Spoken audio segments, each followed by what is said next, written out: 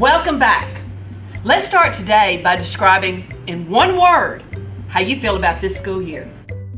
Nervous! Excited!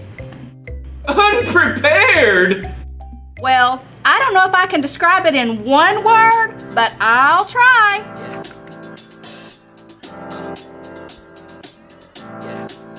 I got this feeling inside my bones. It goes electric wavy when I turn it on. Off from my city, off from my home. We're flying up no ceiling when we in our zone. I got that sunshine in my pocket, got that good soul in my feet. I feel that hot